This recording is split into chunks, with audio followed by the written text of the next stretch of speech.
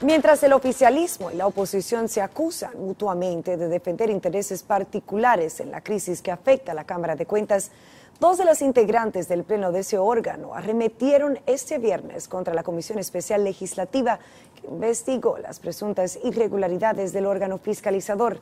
Carolina Oliaga nos cuenta más. Realmente lo que pasa es que la comisión no revisó como debía. La Comisión Especial de la Cámara de Diputados no profundizó las investigaciones de presuntas faltas graves cometidas por los miembros de la Cámara de Cuentas, aseguraron este viernes la vicepresidenta y la secretaria del Pleno de ese órgano. Durante una entrevista en el programa radial El Sol de la Mañana, ambas miembros de la entidad Extrapoder afirmaron que siempre actuaron bajo el marco de la ley, por lo que no renunciarán a su cargo. Porque no hemos cometido ningún tipo de falta equivalente a una sanción de esa naturaleza que solo busca dañar profesionales íntegros.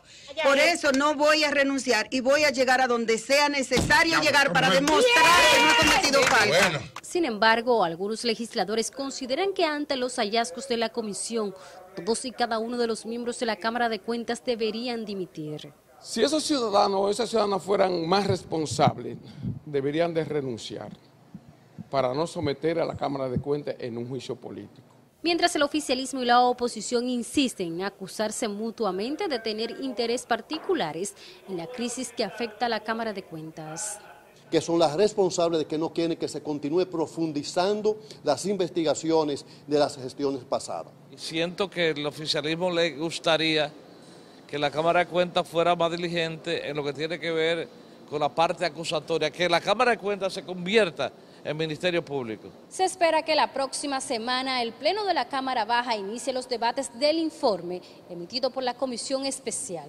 Carolina Oleaga, Noticias SN. El presidente de la Fuerza del Pueblo acogió este viernes la solicitud de la organización Manifiesto Ciudadano para que los precandidatos de su partido esclarezcan el origen de sus bienes en una plataforma digital. Fernández se comprometió a cooperar con la organización para contribuir en la medida de lo posible a conformación de un poder legislativo que la sociedad se sienta satisfecha. La iniciativa tiene por finalidad que los partidos políticos determinen el perfil de cada aspirante y las fuentes de los financiamientos de sus candidatos.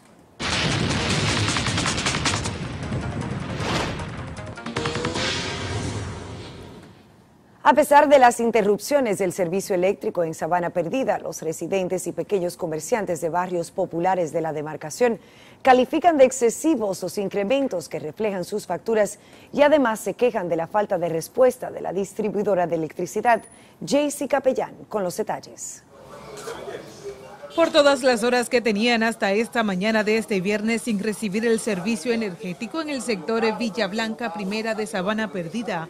El señor Daniel Villanueva tuvo que botar los pollos y embutidos que tenía para la venta en su colmado mientras ofrecía a sus clientes su variedad de jugos y refrescos calientes. Bueno, a mí me llegó de 8 mil pesos la última. Me subió mucho.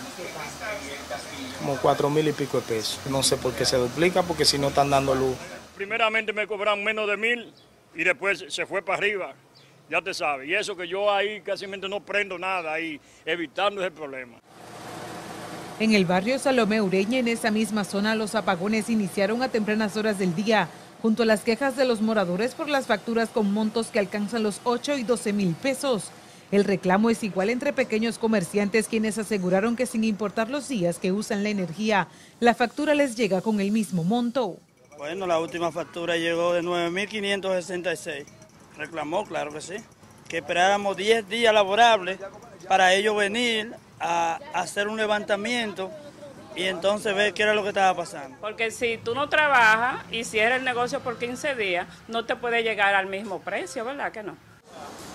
Aunque en sectores como Sabana Centro las facturas no son elevadas, sus residentes se quejan de constantes apagones. Bueno, que mejoren la situación porque no vamos a caer muertos todo el mundo con esta calor. Quienes han reclamado los elevados montos de las facturas criticaron que para poder ser atendidos en las oficinas de la demarcación tuvieron que pagar primero los recibos. Jaycee Capellán, Noticias, SIN. La Asociación de Industria de la República Dominicana hizo un reconocimiento a la trayectoria empresarial para resaltar el valor de empresarios que han contribuido al desarrollo económico y social del país. El reconocimiento incluyó un tributo a dos líderes empresariales fallecidos, Federico Pajes More y Mario Lama Handal, por considerar que dejaron una huella imborrable en el mundo de los negocios.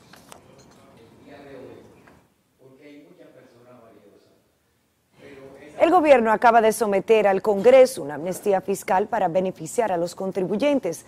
Damos paso a nuestro economista Magín Díaz para que nos ayude a entender en qué consiste este proyecto. Muy buenas noches, Magín. Iniciamos con la primera pregunta inmediatamente. ¿Qué es una amnistía fiscal y por qué el gobierno está sometiendo una al Congreso? Muy buenas noches. En efecto, el gobierno ha sometido un nuevo proyecto de ley al Congreso que entre otras cosas eh, trata el tema de una amnistía fiscal. Básicamente una amnistía es un perdón de deuda tributaria de alguna manera. En, en, el país hay una cartera, digamos, de deuda casi incobrable en la administración tributaria por la, a veces la acumulación de los intereses y recargos de la deuda, pues la hace impagable. Hay otros contribuyentes que simplemente no tienen la capacidad para pagar esa deuda entonces, eh, cada varios años pues se hace una amnistía, eh, lo cual a mi juicio es incorrecto.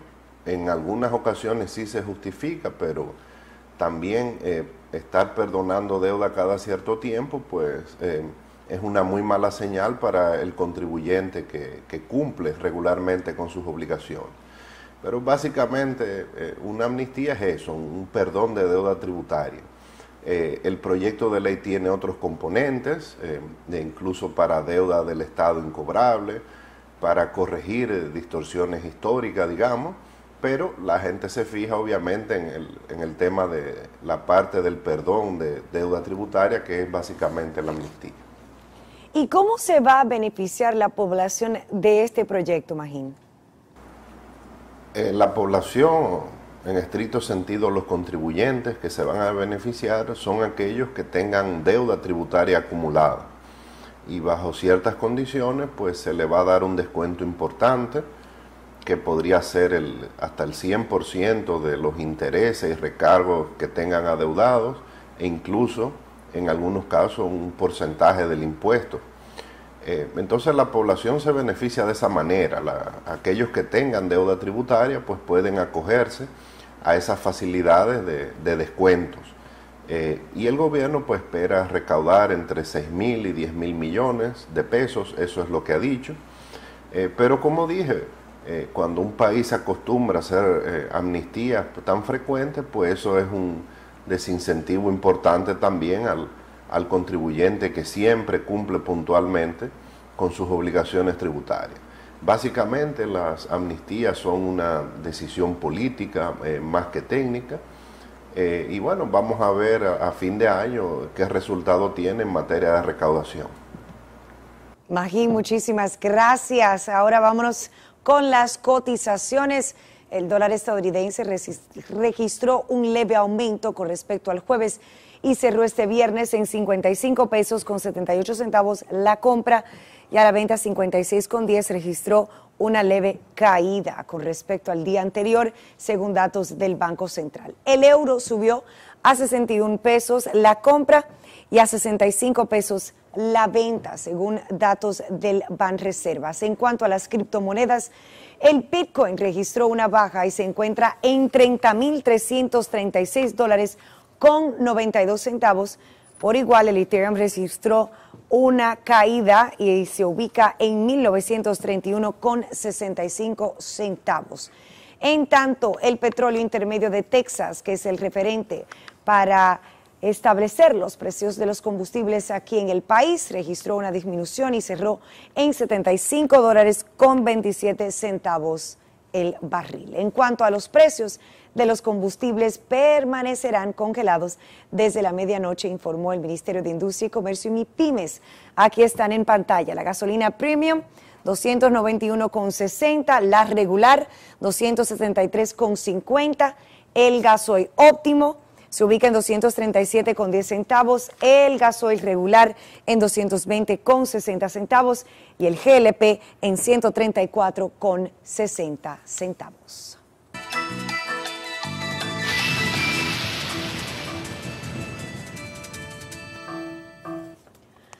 Para este sábado se prevé que la influencia de un sistema de alta presión podría causar lluvias aisladas. La UNAMED explicó que las temperaturas máximas siguen muy cálidas, con valores entre 33 y 36 grados Celsius, producto de la radiación solar y la época del venado. Tremendo calor que hay. Vámonos ahora con las respuestas a nuestra pregunta en Twitter. ¿Cree usted ha habido un buen manejo sanitario ante los casos de cólera registrados en Barahona. Vamos a iniciar, a ver, a ver, a ver, aquí. Elvin Vallejo Lluveres, buenas noches. Sí se han tomado las medidas en sus comunidades donde están los casos como cierre temporal de sus abastecimientos de agua. A ver, a ver, Vladis Santos, no. El gobierno quiere hacerle ver a la población que está priorizando la salud y no está tomando medidas eficaces para darle frente a al mal.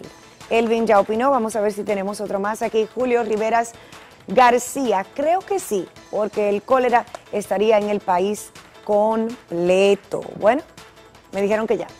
Pausamos, hay más. Quédese con nosotros.